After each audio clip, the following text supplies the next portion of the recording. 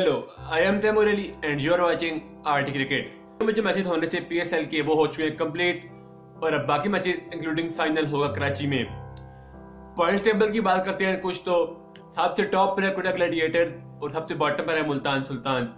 Kota Gladiator Quetta Gladiator ने officially qualify कर लिया है प्लेऑफ्स के लिए, और मुल्तान सुल्तान ऑफिशियली आउट हो चुकी है पीएसएल की प्लेऑफ्स की रेस से।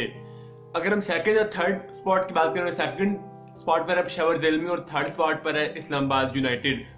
सेकंड पोजीशन पर जो है Peshawar Zalmi 70 to 80 percent qualify कर चुकी है प्लेऑफ्स के लिए उनकी टीम और इस्लामाबाद यूनाइटेड में ऑलमोस्ट क्वालिफाई कर लिया है।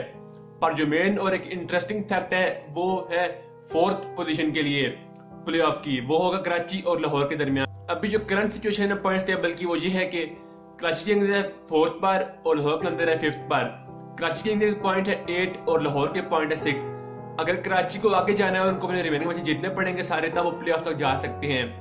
अगर जो बाकी की बात करें हम तो लाहौर के बाद जो मैचेस हैं वो हैं।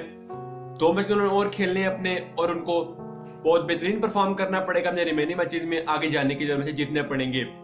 तो एक अच्छी तो एक इंटरेस्टिंग और हार्ड फाइट होने वाली है लाहौर और कराची के दरमियान। फोर्थ स्पॉट के लिए और कौन जाएगा प्ले ऑफ़ में? ये इस वीडियो में, इस टॉपिक इतना ही। फॉर मोर वीडियो लेकर शेयर वीडियो थैंक यू